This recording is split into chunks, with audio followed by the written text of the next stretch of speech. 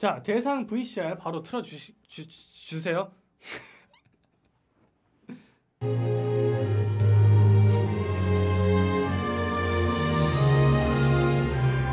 들어봤어 안 들어봤어 안 들어봤어.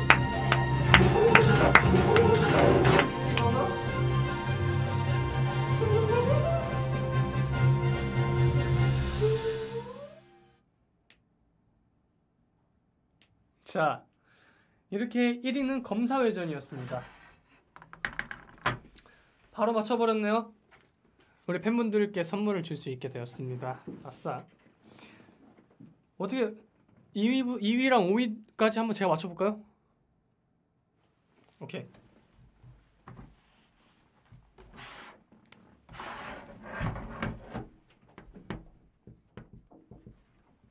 제 느낌대로 그냥 쓸게요.